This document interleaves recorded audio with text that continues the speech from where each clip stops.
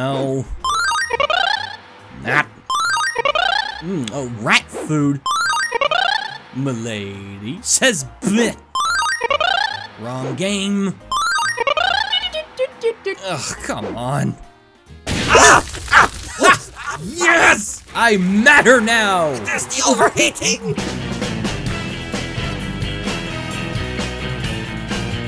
A genius. Precisely zero seconds in a lab and 25 years behind a glowy game screen qualifies you as a bean of science, I do decree. Tidy up my innovatively colorful lab coat. I have reinvented the heart of science. Thanks to my brilliance, it's now possible to be predictable and unpredictable at once. That's right. Put my trophy here, sir. I hunger for gold. Seems all of you have struck gold yourself. You all like your Fawful's Minion talking about TF2 almost as much as your wet water. But a retrospective? Huh.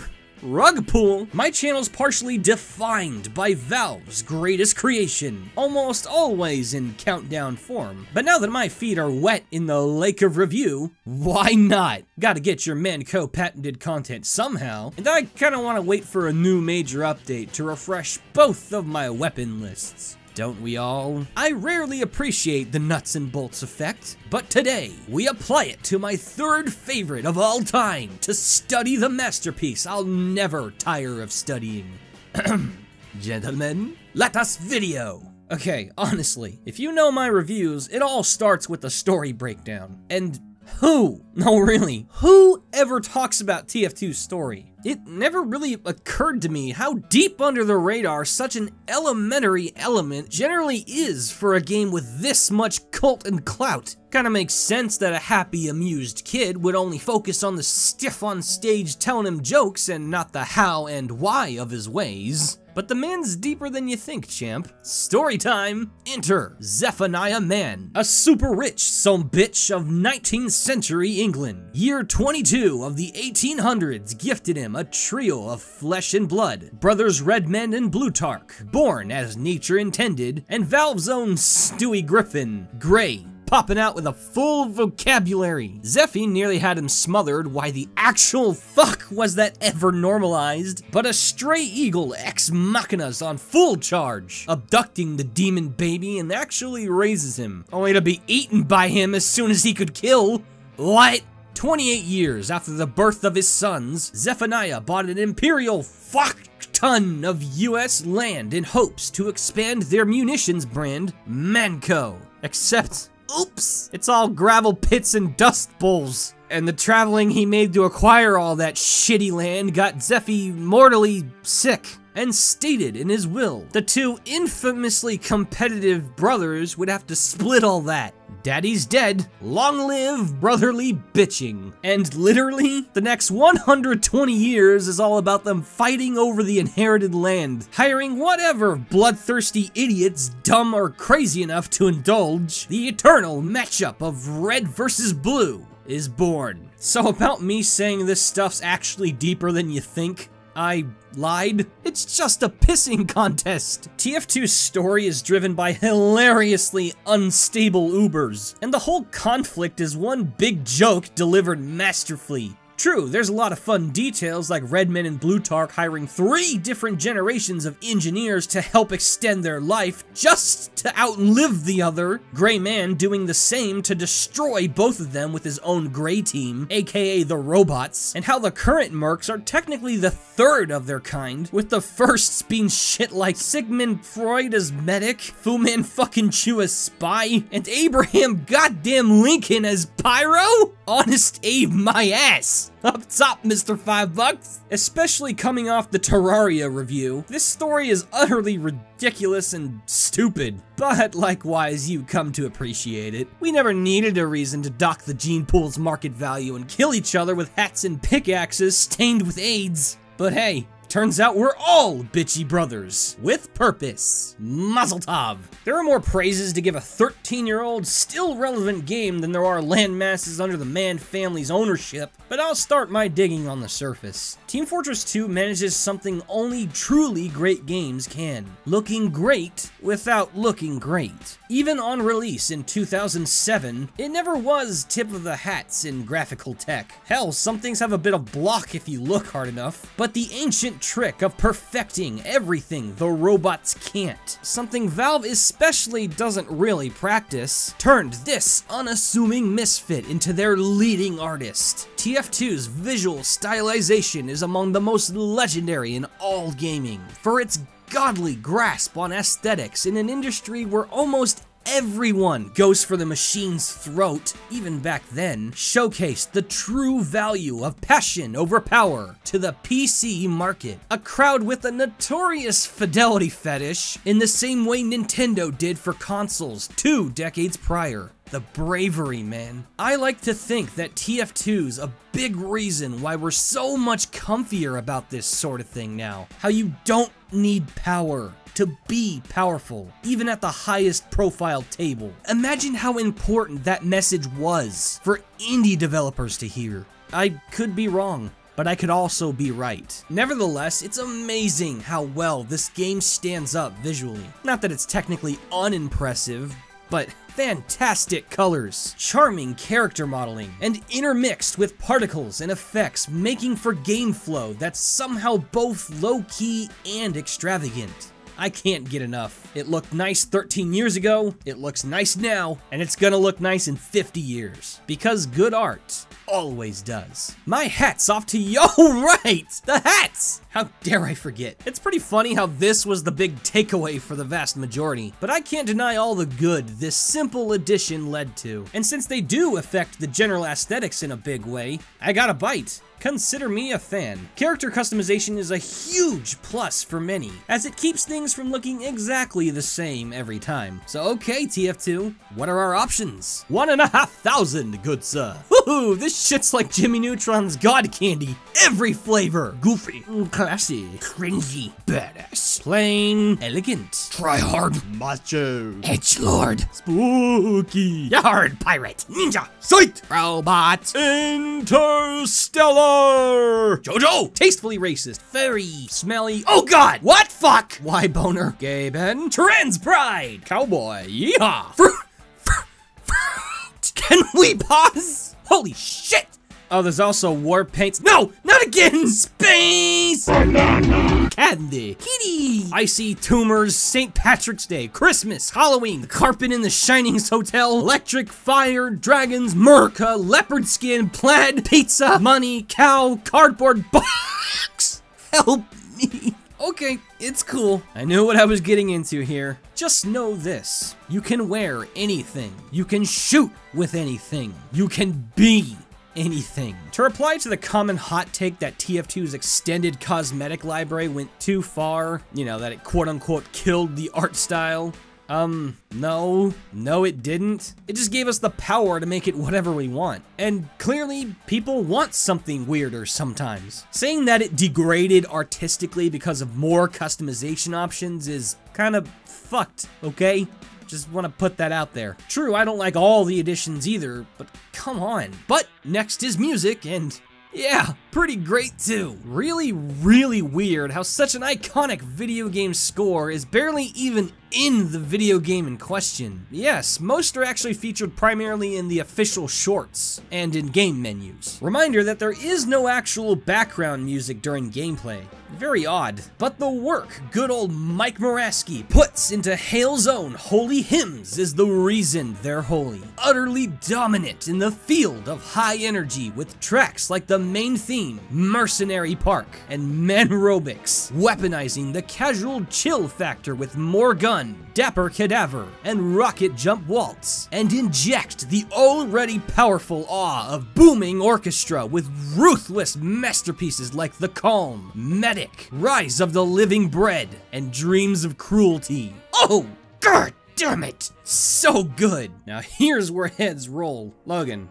Bro, you've made four countdowns extensively gushing about how TF2 ticks. More than two full hours. You can't possibly say anymore. Hum hum, my good chums. Watch me. It takes a special breed of magic to turn something so one note into an epic chorus ready to sing for God. But he himself saw to it that the conductors direct with actual, literal wands. Was that God hates magic, you say? Well, God loves Team Fortress too. So, uh, Review your textbooks. The very legacy of Misters John Cook and Robin Walker went on to become the Toy Story of modern FPSs. Not exactly being original in the base concept, but pushed forward with passion and muted brilliance almost unheard of in its field, to the point where so many strive to be it. That's not to regurgitate the all FPSs are dull stereotype I once stupidly lobbied so hard for. They're gaming's equivalent to popcorn flicks. Fun, simple, reliable time killers, highly approachable, and appreciated. I've played good, even great FPSs, but TF2 is the only one I would call truly amazing. I think Mickey from Scream 2 put it best. It's all about execution. Execution indeed, good psychotic sir, through hyper-intelligent subversion of classic FPS staples and low-key invention of all new ones, every battle waged in the name of man brings a full stack of one-of-a-kind thrills to the genre at large. Even after playing something paying great homage to it, like Overwatch and eventually Overwatch 2, TF2's nuts and bolts are unparalleled in versatility. It is indeed weird and possibly off-putting to those hardwired by typical FPSs to expect a uniform design, making it tough to transition. But if you can adjust, I can promise that you'll never leave. Every raw attribute you'd normally give a standard FPS unit is often extracted into one giant pile and selectively gifted to specific individuals reigning under Saxton. The universal ability to sprint, that goes to Scout. Everyone got a backup grenade to toss? That's you, Demo Man. Take control of a mounted gun for added firepower? I know just the Russian for the job. It's limiting in a certain perspective, yes, by cutting basic actions from a blank, mass-produced slate. But the moment you isolate the mechanic, you can optimize it, or as I see it, finding one in a crowd and truly getting to know them. This dime a dozen normie, you find, is in fact deep, beautiful, a true character, someone worth keeping close. That is Team Fortress 2's great secret, specialization, with every class given their own mechanical monopoly and forced limitations. The grand design clicks in place with a sound you absolutely cannot resist hearing again and again and again! Class counters and damage values lead the ecosystem, but the special physics and dynamics push it to heights your everyday shooter couldn't dream of. Rocket and sticky jumping, air blast, lingering flames, cloaking, backstabs, building construction, all casual song and dance for each of us, but a haunting siren's call to the increasingly rare TF2 Virgin. There's so much shit this game innovates in its home turf, and whatever it doesn't is tailored to in another impressive way. Pyro's Afterburn and Air Blast, Engineers mechanical map editing, Spy supremacy on stealth. You never see stuff like that. You just want to discover things with them. They're so deep and interesting. Whereas more traditional playstyles like Heavy, Sniper, and debatably Scout are gifted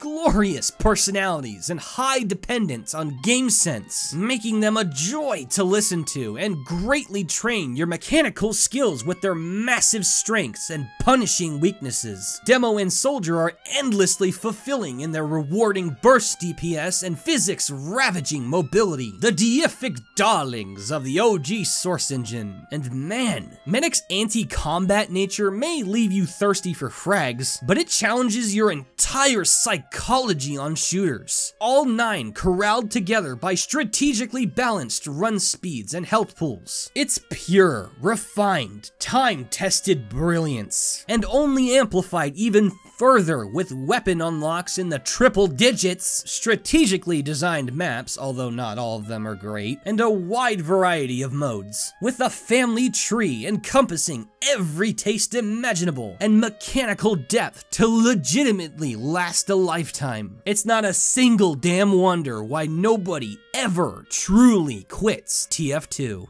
Oh my lord, he's still going. Yeah, he is. See, it's not simply enough for me to frisk the glorious bastard for a quality search to sate my critic boner, no. This fucker's officially a full-on Chad, and I need to hang out with him. Forget the professional portfolio and fashion sense. I needs a best buddy. And when your cast's likability could effortlessly match even Nintendo's finest, Man, the S-tier squad of shitheads within are some of the most iconic faces in gaming and internet history, for too many good reasons to even fit into four giant countdowns. The TF team's aim to transform our gun-happy avatars into Saturday morning cartoon idols was tighter than a sentry gun's. Masterful wit, versatile designs, and amazing voice talent guarantees a gang gifted in delighting every age, gender, gender, and nationality bracket on the planet. And on a genuine level, not everybody loves all of them, but everybody likes at least one of them. Loudmouth millennial fuckboy scout, nonsense breeding USA hold soldier, the infinitely moldable pyro, literal black Jesus demoman, Mother Russia's pride and joy heavy, fucker Texas Ranger, engineer, medicinal magician medic, Aussie of endless awesome sniper, and France's finest foils spy. We know them and love them like our own family because they truly invite it. As you know, I have said four countdowns and eventually two more detailing their mass appeal, so that's a more controlled place to learn up on them. But I will say this, the blend of beautifully detailed gameplay and infectious supplementary character-driven entertainment it makes an excellent product, a damn experience, leading to my favorite overall element in TF2, the camaraderie. Those moments when you link up with fellow mercs with strong passion for the fight themselves. It's such a trip. Ugh, ugh, they got me good, man. I can't, I can't go on. Oh, food! Fuck yes, brother! Until the end! I got you, buddy. Don't you die on me! We'll get through this as one. As one! No! No! We failed, brother. And it was awesome. That, that kind of epic shit happens all the time. It's some of the most fun I can ever get. You feel like you're part of a war. A fun pretend one. Not like Nom. More like nom nom nom. It's ah, oh, it's magic. But you gotta be serious sometimes, even when cosplaying as a condom. Truly, if you're so comfortable with a game to have it extensively featured on your YouTube channel, surely you can bear some criticisms, right?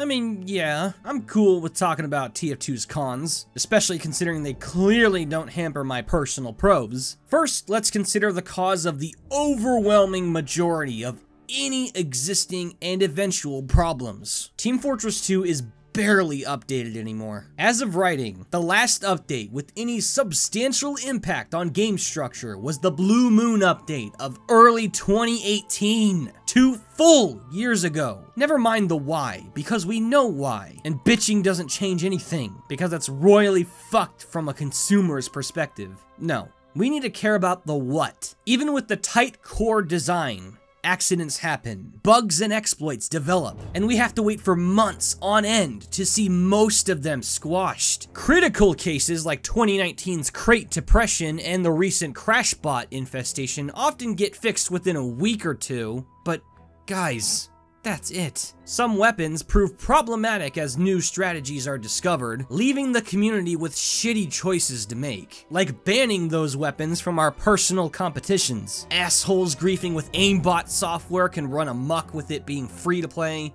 It's a certain cycle. It's not a great feeling to have to deal with a mess you physically can't clean up. Even with the reality that things are fairly under control at the current moment, it's built into the game at this point, with how puny the dev team is. And that won't ever change unless core company policy does. Things get static very often, for very long because of it. And a lot of stuff is just flat out abandoned because there's so much ground and so little manpower to cover it. Remember the comic? What's that? Man vs. Machine's been the exact same for seven years, and I'm being serious here. It really sucks. Valve, get another partner company to give a fuck for you, just like you did with CSGO. You dominate the PC software market. You have billions. This is bullshit. Also, shitreg, aka the questionable melee hitboxes. They've always been not literally broken, but they're spotty from time to time. Definitely. This gives the more melee-oriented classes like Spy and Demo Knight potential problems that they don't need. That and it's just jank. Random crits and random bullet spread are also annoying, but random damage spread used to be a thing too until Gun Mettle removed it, so it's entirely possible that these two will be excised just the same one day. That's truly it as far as legit problems go. It's almost entirely from Valve Corporate's atrocious level of sloth but I'll pick a few nits just for the fuck of it. Halloween restrictions are stupid. Please get rid of them. Some of the coolest looking cosmetics in the game are only visible during Halloween season or when a server is enabled with full moon, which is only so common. Can I please be Magical Pootis Bird, Christian Brutal Jawa, and Pyro Shark McYes Daddy anytime I want?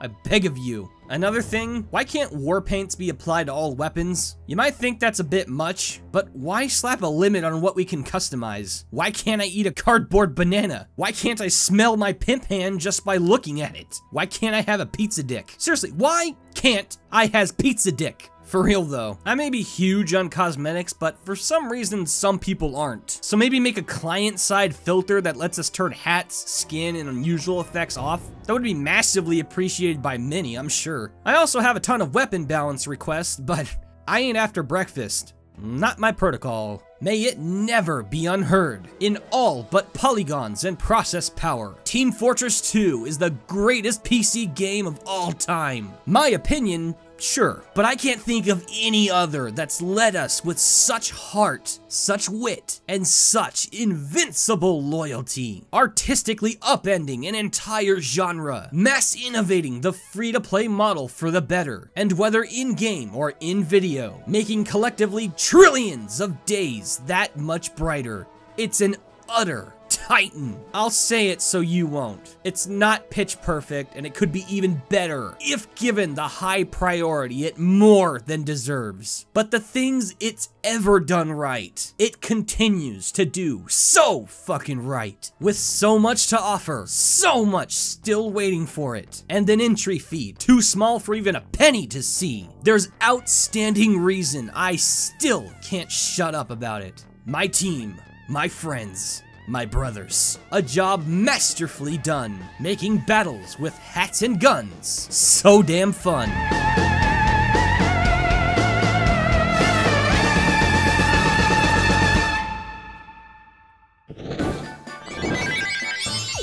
And now, give it up for the high tier patrons.